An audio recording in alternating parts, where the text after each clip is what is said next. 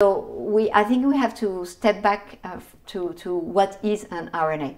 Okay. So uh, you have um, the, the hardware uh, of your computer would be the DNA. The, the equipment of your computer, maybe your screen or your, uh, um, your keyboard and all this stuff, will be your protein. Okay? So within, in between, you have the RNA. And typically the messenger RNA from which you go to this. And you eventually can get reverse. You have, if you have reverse transcriptase, uh, you do have the capacity of changing the mRNA into DNA. Okay, so this is just to give you an, uh, a view of where stands the RNA. And mRNA plus other RNA are a great connectivity of the system. You remember I told you you have the hardware, you have the keyboard, the monitors, but now you need the connectivity to one another. All the strings, all the all all these little wires that goes to one another, and this is this level, the connectivity of the system. Okay, so it's a fantastic and powerful level. That's why I have been working on this level uh, for some times. And now, if you uh, are to inject um, an mRNA, uh, the mRNA, uh, uh, so you're not injecting, uh, so the, the reality is that you're injecting an mRNA within a capsule which is a, a greasy capsule. Okay, mm-hmm. this is called a na- nanoparticle. Nanolipids. Yeah, the yeah. nanolipids exactly, the NLPs. And so, so, so we are talking of the NLPs here, and you are talking of the mRNA here. Okay.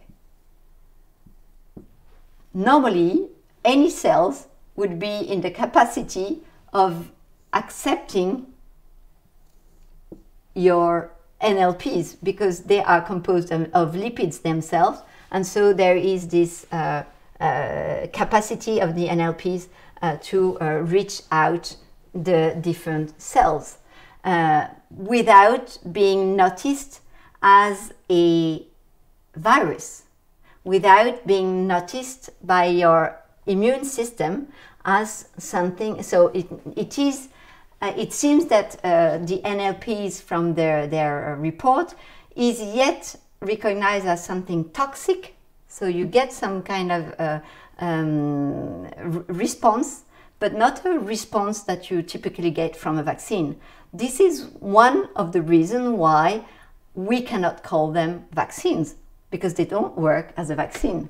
They really work independently in the sense that they are not recognized by your body for sometimes, uh, uh, for forever actually, as a uh, foreign virus uh, on which you need to um, have a, a such or such uh, immune response. Okay, so uh, what I wanted to explain to you as well is that it is not any kind of mRNA.